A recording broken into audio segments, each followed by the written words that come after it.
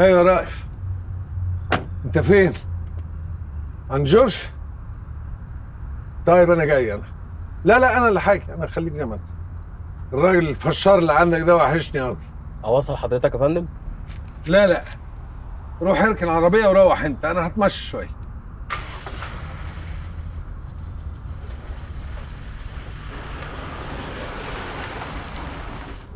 اتفضلوا يا شباب. الأكل جاهز. سيادة المستشار هيلحقنا لأنه جاي في الطريق. حبيبي عم جورج.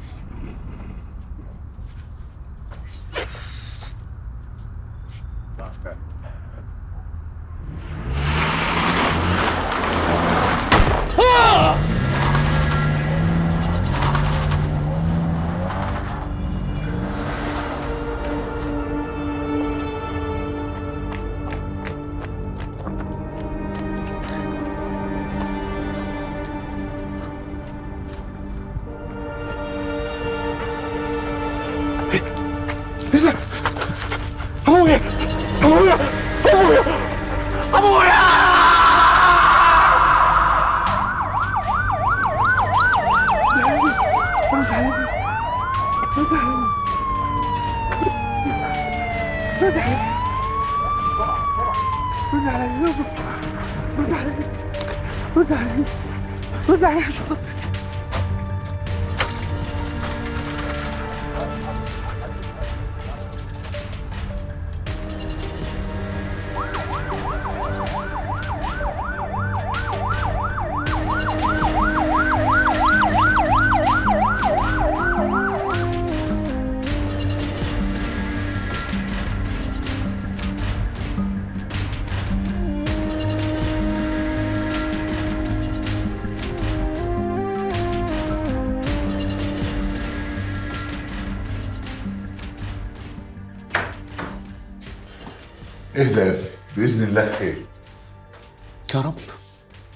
يا رب يا جورج.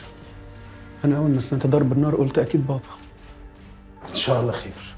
يا رب يا وليد. أكيد اللي حصل ده ليه علاقة بقضية عماد وصفي. أنا قلت له ما تقفش قدام الراجل ده. الموضوع يوصل للقتل هو في كده؟ يا جماعة مش عايزين نجزم الموضوع بالطريقة دي. أستاذ ثابت محامي مشهور وكبير جدا. يعني عنده قضايا كبيرة وتقيلة قوي في البلد. واكيد ليه أعداء كتير. معلش هو الحقاني دايما كده. آه أيوه. ربنا بس يطمنا عليه. ربنا يطمنا عليه.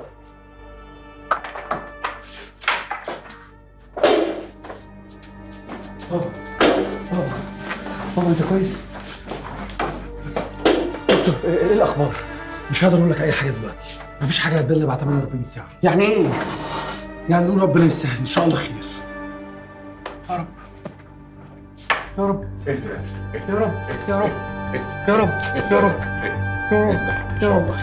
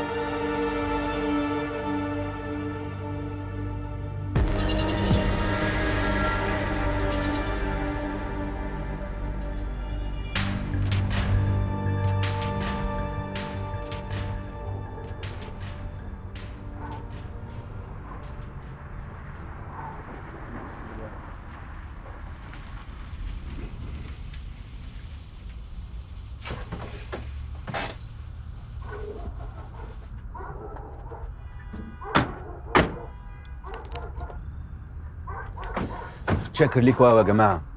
معلش تعبتكم معايا النهارده. إيه يا عم رائف اللي بتقوله ده؟ انت هتزعلنا منك. إحنا اخوات يا أخي. لو قلت الكلام ده تاني بجد أقفل منك. ثابت ده أكتر من اخويا. ربنا يقومه بالسلامه ما تقلقش. إن شاء الله هيبقى زي الفل. يا رائف لو احتجت أي حاجة مش محتاج أوصيك. السلام عليكم. عليكم السلام. عليكم يا ابني. عليكم السلام ورحمة الله وبركاته. مع ألف سلامة.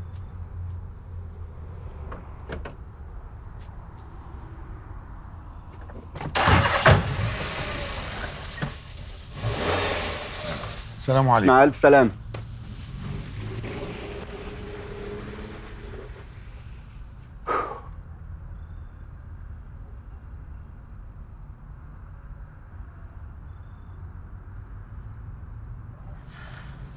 ألف سلامة على بابا. الله يسلمك يا حسنى. طمني الدكاترة قالوا إيه؟ الدكاترة ما قالوش حاجة. في حالة تعتيم غريبة كده. حتى ما رضيوش إن أنا بات معاه النهاردة في المستشفى. إن شاء الله خير. يا رب. ألف شكر يا حسنى. خص عليك يا رأفي اللي أنت بتقوله ده. تشكرني على إيه؟ أنت عارف عم ثابت قد إيه أنا بحبه وبعتبره زي بابا بالظبط. عارف. عارفة يا حسنى. اللي حصل ده كسر لي ظهري. أبويا كان كل حاجة في حياتي. كان ظهري وسندي. ما تقولش كده. خلي أملك في ربنا كبير.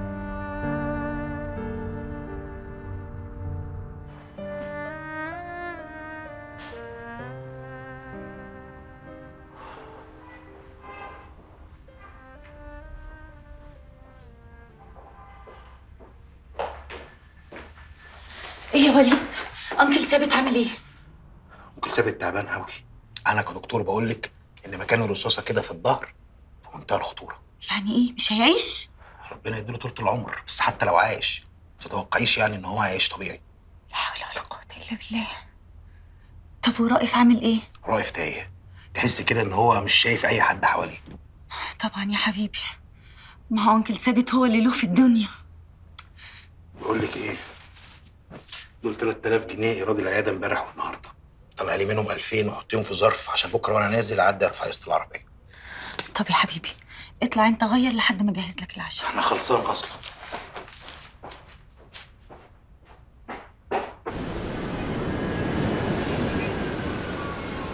اخصى عليك يا راجل. بقى كل ده يحصل وما تكلميناش تبلغينا. لا انت بتهزري. يا بنتي ما بسألش إيه بس. والله انت لو تعرفي أنا كل يوم مقتولة إزاي برجع من البنك مش قادرة اتحرك. بفضل قاعدة على الكنبة قدام التلفزيون. أنا حتى مش عارفة أساعد ماما في شغل البيت خالص. ما أنا ما أنا ما أنا قلت لها هجيب لك شغالة بس هي مش عايزة. المهم سيبك انت بقى. هتعملي إيه مع حسن؟ إيه؟ هتطلقي؟ لا يا شيخة. أعوذ بالله. طب اهدي اهدي. طيب اهدي بس. طب اهدي عشان نقدر نتكلم. طب استني. طب أسمع. في إيه؟ مين ده اللي هيطلق؟ آه طب ثواني هكلمك تاني. مين ده؟ آه مفيش يا ماما مفيش. انت قلت في طلاق. مين اللي هيطلق راجية بنتك اللي هتطلق يا مسابسي يا حبيبتي يا بنتي.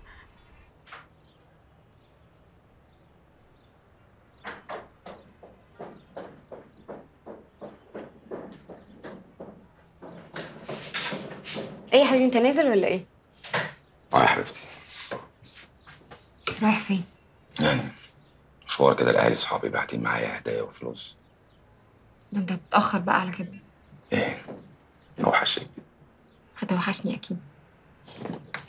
أنا عن نفسي مش عايز أتأخر خالص. عايز أقعد هنا. بس أنت عارفة بقى زحمة تحت وبناء ماشي يا حبيبي. روح وترجع بالسلامة. خلي بالك على نفسك أنت كمان. مش عايز حاجة ولا لا؟ عايز سلام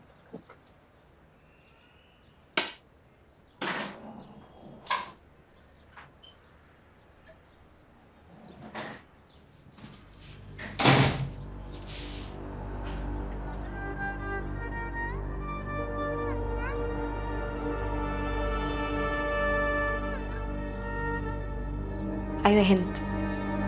تعالي دلوقتي حالا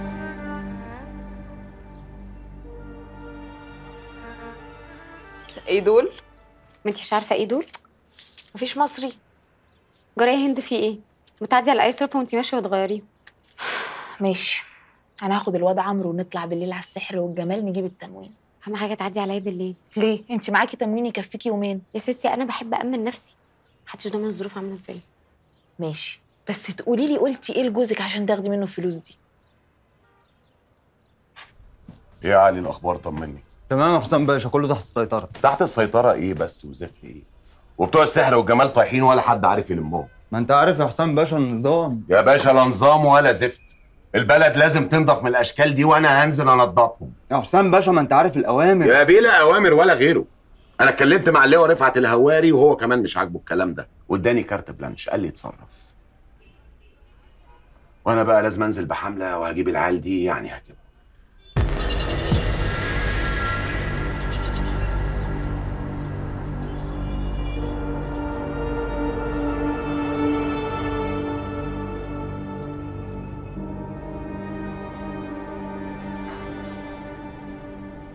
باشمهندس رائف. رائد ممتاز السيوفي مباحث عامة أهلا وسهلا. أهلا وسهلا بحضرتك. أنا طبعا مقدر قلق حضرتك ومقدر اللي انت فيه جدا. بس إحنا دلوقتي قدام قضية شرف قتل لواحد من أهم محامين مصر. فكنت حابب أعرف من حضرتك بس بتتهم حد معين؟ والله يا فندم أنا ما عنديش دليل عشان أتهم حد. لكن كل الناس بتربط عماد وصفي باللي حصل لوالدي. عماد وصفي بره البلد بقاله أسبوعين وإحنا ما عرفناش نستجوبه برضه. حضرتك يا فندم سيدي العارفين محدش من الكبار لما بيعوز يعمل حاجة بيروح يعملها بإيده. يعني عماد وصفي مش هيجيب مسدس ويضرب أبويا بالنار قدامي.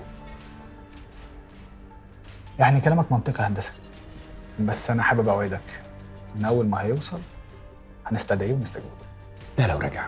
هيرجع. عشان هو لو ما رجعش هيبقى بيثبت الموضوع على نفسه. مش القضية دي بس وقضايا تانية كتير.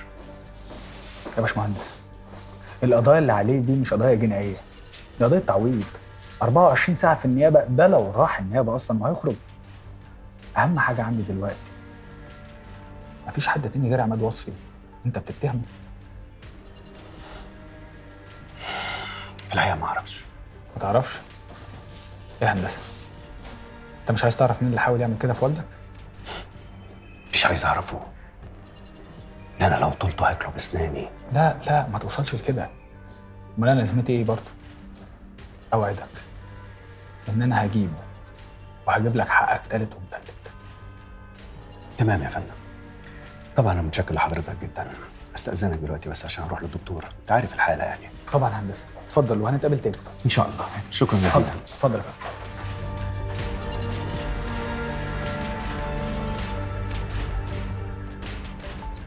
بسرعة شوية يا حمدي. أكتر حاجة بحبها فيك يا أستاذة إنك عرفتني يعني إيه أجري على أكل عيش. يا حبيبي بسرعة شوية بقى كده مش هنلحق. نلحق إيه؟ يعني مش الحادثه حصلت خلاص. يعني لما نروح بدري هنشوفها من أولها يعني. يا ابني ما أنا قلت لك 100 مرة تخس مش ناقصاك بقى على الصبح. في إيه يا حمدي؟ أنت زعلت؟ لا كنت باخد نفسي.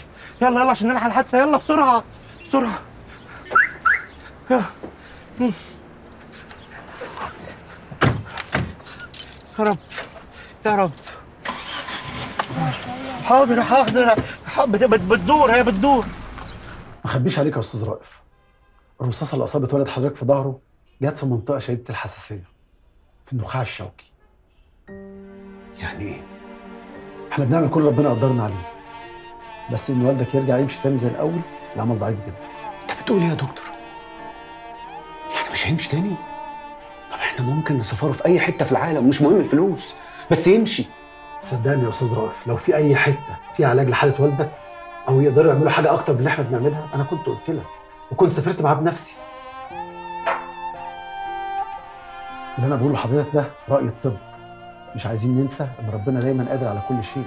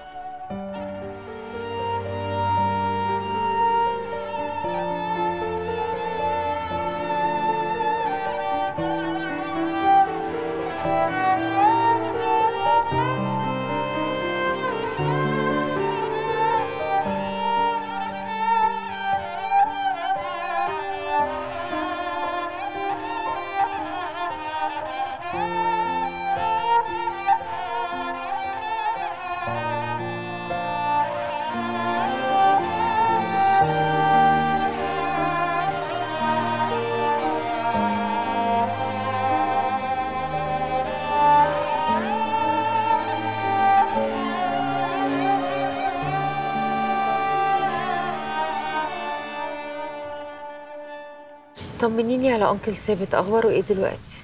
أنا لسه كنت بكلمه في التليفون قلت أعدي عليه قبل ما أجيلك. قال لي مش هينفع أنا رايح المستشفى.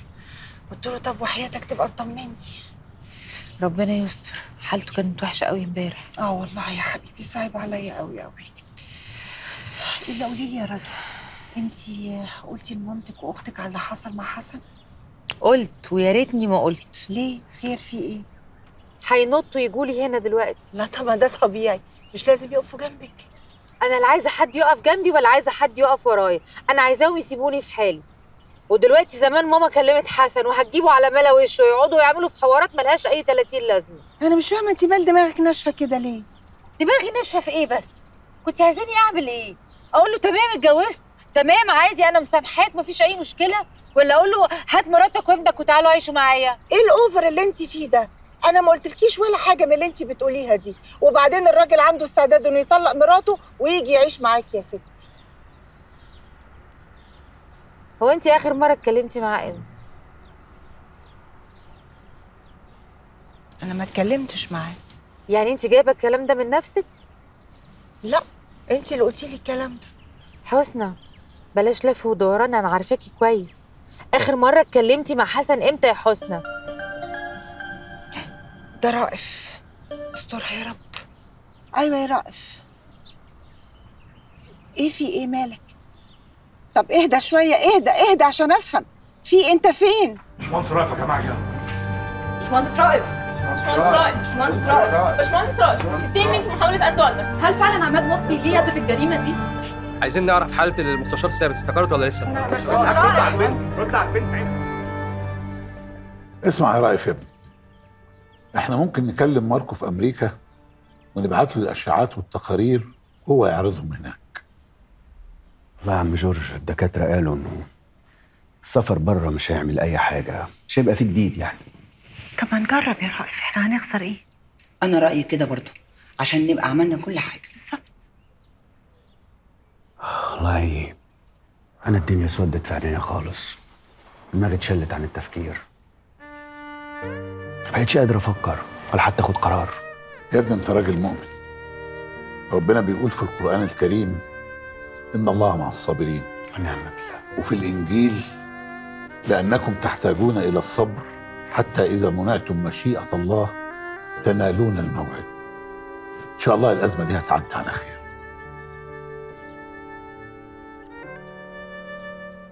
إن شاء الله خير. اتفضلي يا حبيبتي. تسلمي يا قلبي. أنا مش فاهمة بس والله يا ماما أنتوا إيه اللي جابكم؟ إيه اللي جابنا؟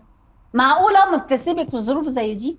إيه بس الظروف اللي زي دي؟ ما أنا زي الفل أهو قدامك ما فيهاش حاجة. لا انت مش زي الفل. انت بس السكينة لسه سرقاكي. طب انت عارفة أنا أصحابي في البنك بقول لك إيه يا هدى أنا ماليش دعوة بأصحابك يا ماما. ما تقعديش تحكي لي على صعبانيات أنا مش ناقصة. شفتي مش قلت لك اللي في دماغها هتعمله أختي وأنا عارفاها. عارفة مين ولا مش عارفة مين؟ أنا خلاص كلمت حسن قلت له تعالى ونتفاهم بالراحة. ليه كده يا ماما؟ ليه عملتي كده؟ لا. طب إيه رأيكم بقى؟ أنا هخرج دلوقتي ومش هرجع غير وش الفجر ها؟ إيه ده؟ الحقيقة المجنونة بنت المجنونة دي؟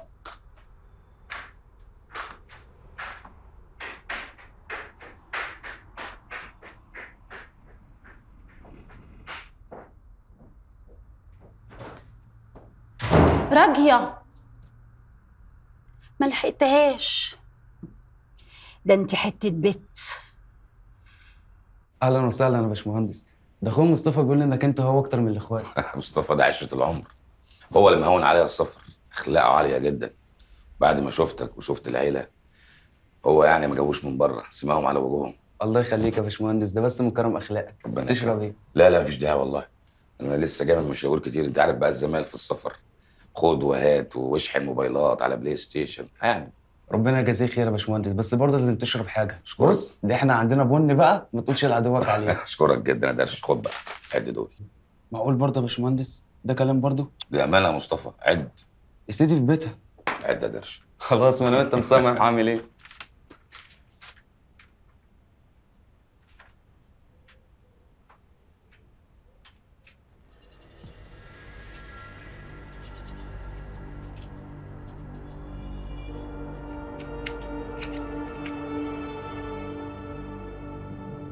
خير يا مصطفى في حاجة؟ هو الحقيقة أصل مصطفى كان قايل لي اني بعت 10000 درهم ودلوقتي 5000 بس. أنا ما فتحتش الظرف والله أنا زي ما اداهولي جبتهولك أنا مكلمه. ما قدرش. أنا في بيتك هنا في مصر. أخوك معك أهو كلمه. ألو؟ آه يا مصطفى حبيب قلبي عامل إيه؟ آه وانت بعت فلوس كام؟ 10000 ماشي يا اخويا المهندس ناير معاك. ما قدرش لا لا غلط عندنا. أكيد في غلطة. بكرة الصبح إن شاء الله المبلغ هيكون معاه مع السلامة. أنا آسف جدا. إن شاء الله بكرة الصبح المبلغ كله هيكون معاك. لا ما فيش حاجة يا باشمهندس. واي وقت حضرتك فاضي بقابلك في حتة اخد بيت الفلوس. ما تشغلش بالك. ماشي. أنا اللي هجيلك انت مش هتجيلي الفلوس كلها هتكون عندك. طب عشان خاطر اعمل لك فنجان قهوة على مزاجك؟ ماشي.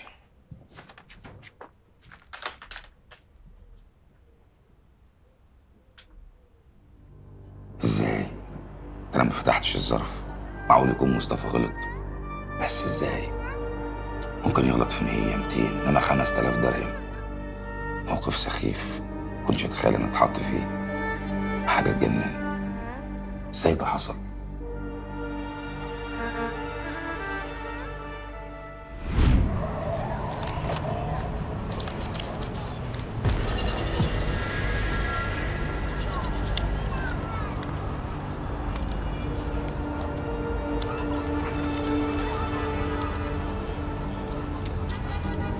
ألف شكر يا عمنا. العفو يا باشا تحت أمرك.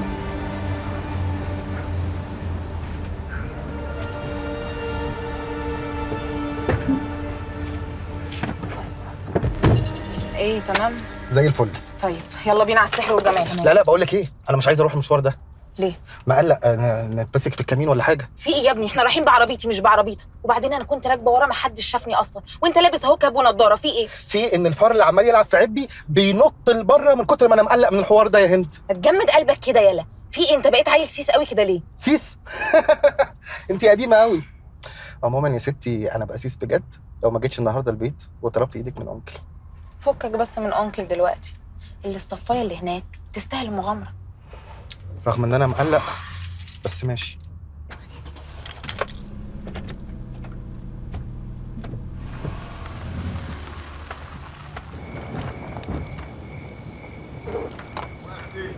دولاب مرعي شمال. وش شمال؟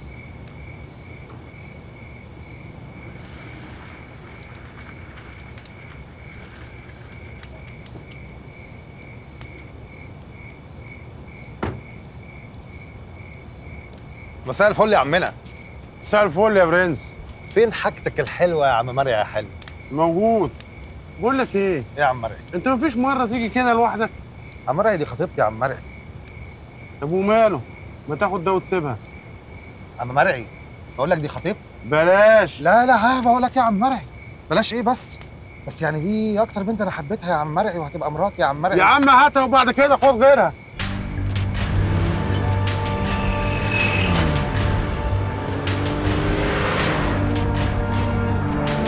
بس اقف قبل ما يجري قبل ما يجري. اجري يلا.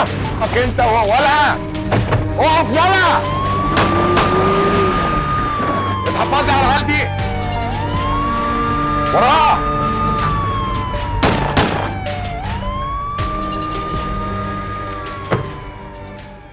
أنا من ساعة اللي حصل وأنا بشرح لراجية إني ما كانش قصدي أخونها أو أحب واحدة تانية عليها. أنا كان كل غرضي إن أنا أخلف وبس. وخبيت عليها لأني بحبها. ما كنتش عايز أجرحها. وهو في جرح أكتر من إن الست تتخان؟ إنها تعيش عمرها كله مغشوشه في الراجل اللي بتحبه وبتنام جنبه؟ فجأة تصحى كده تلاقي كل دنيتها كذب في كذب. عادي. ده مش جرح. إنه يضحك عليها كل يوم. بحكاية شكل. حتى الهدايا اللي بيجيبها لها. بيجيبها لها عشان حاسس بالذنب مش عشان بيحبها. مش كده؟ ده مش جرح. أنا بس. كل اللي قاهرني إن أنا مش بس عشت مغشوشة أنا كمان عشت غبية. لأني طول الوقت كنت بديك اعذار وقول لي حرام حسن طول الوقت شقيان في شغله بلاش يا حبيبي اهدى شوية في شغلك. وأنت تقول لي لا معلش معلش يا راجل. دي مصالح ناس. دي مسألة حياة أو موت. أتاريك بتحيي الناس كلها وتموتني. يا بنتي الكلام مش بالشكل ده. الراجل بيقول شوف طلباتها إيه وهو مستعد ينفذها. أنا مستعد أنزل دلوقتي حالا اطلق الست التانية. كده بمنتهى البساطة ولا كأنك عملت حاجة. يا راجل حسن شريكي وعايز يعمل كده لا مش. شاريني. لو كان شاريني ما كانش خدني أنا عايزة أعرف حاجة واحدة بس. ليه؟ ليه عملت كده؟ ما أنا لو كنت رفضت إن أنت تتجوز كنت هقول معذور. ده أنا اللي قلت لك روح اتجوز بعد آخر عملية تلقيح صناعي عملتها وفشلت. ليه لما قلت لك كل واحد يروح لحاله ما رضيتش؟ ليه عملت كده دلوقتي؟ علشان بيحبك يا راجل. لا مش عشان بيحبني. عشان بيحب نفسه. ومش عايز يخسر حاجة. اهدي يا بنتي بس. الراجل بيقول شوف طلباتها إيه وهو مستعد ينفذها. تمام. وأنا ما عنديش غير طلب واحد. وأنا تحت أمرك في اللي أنت عايزاه كله. أتطلق.